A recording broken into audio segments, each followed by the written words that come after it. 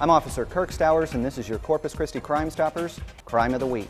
The Corpus Christi Police Auto Theft Task Force wants your help to catch an auto burglar who struck a pipeline company over the Thanksgiving holiday in 2012. Wednesday, November 21st, 2012, a man jumped the fence to a business on the 1600 block of North Lexington Boulevard in Corpus Christi.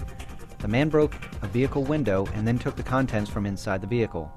The man then broke into a toolbox of a trailer to steal the tools and then took the time over several hours to remove the transmission and other auto parts from a truck. In all, the thief took about $20,600 worth of property from the business.